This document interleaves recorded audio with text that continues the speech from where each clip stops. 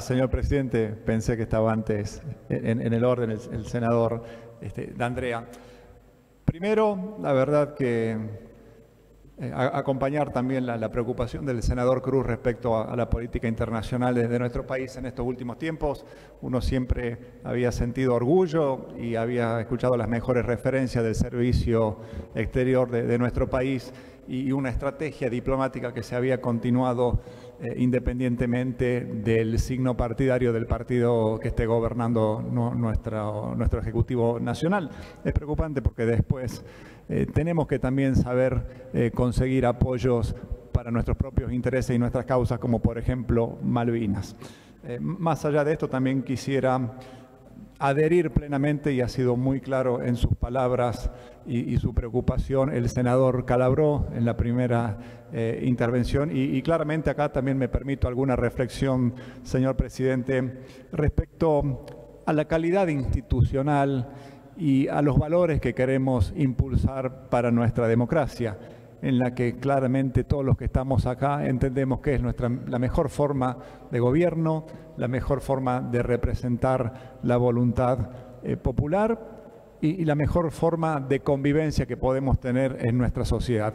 Claro que es preocupante cuando esta forma de convivencia que hemos elegido y lamentablemente ante un mal uso de las tecnologías existentes y el anonimato que esto permite, eh, empiezan a verse invadidas y empiezan a, a ver que gana terreno en estas formas de comunicación mensajes de odio, de desprestigio, eh, y creo que realmente tenemos que animarnos a exigirle mucho más a, a la ciudadanía y también a nosotros, nosotros mismos como representantes, ¿no? de, ser capaces de fundamentar mensajes con argumentos, con sólidas convicciones, desde el respeto, desde la tolerancia, desde otro tipo de valores, y no tan solo eh, entender que, porque, que en una red social rápidamente se difunde el agravio y ese tipo de, cuestiones, eh, o, o la mentira, porque sabemos que en las redes sociales la mentira circula mucho más rápido que la verdad,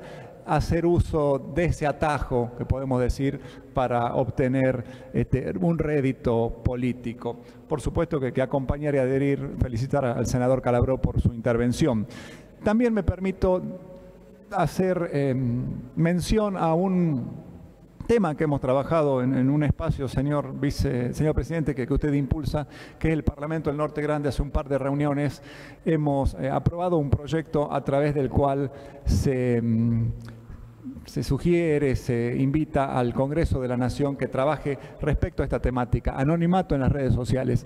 Estamos pidiendo una norma que marque la obligatoriedad de los procesos de verificación de identidad para cada uno de los usuarios de redes sociales.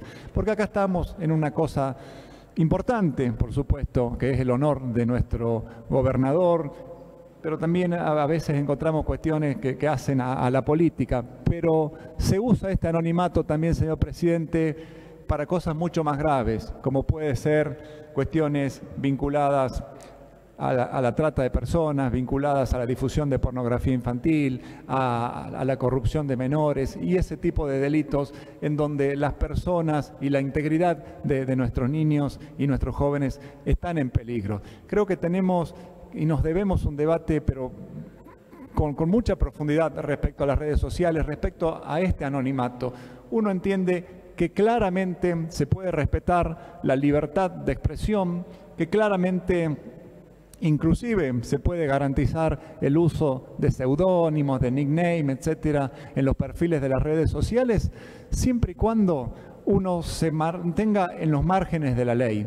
Ahora, cuando uno utiliza este anonimato para atacar, para agraviar, para cometer delitos, para corrompir un menor, ahí tenemos que tener la posibilidad de que la justicia rápida y fácilmente pueda acceder a quién es el cobarde, porque realmente es el adjetivo que corresponde, se encuentra detrás de ese perfil de red social. Ese era el, comentario que, que, quería manifestar, señor presidente. Me permito invitarnos a todos eh, una mayor reflexión al respecto. Muchas gracias. Gracias.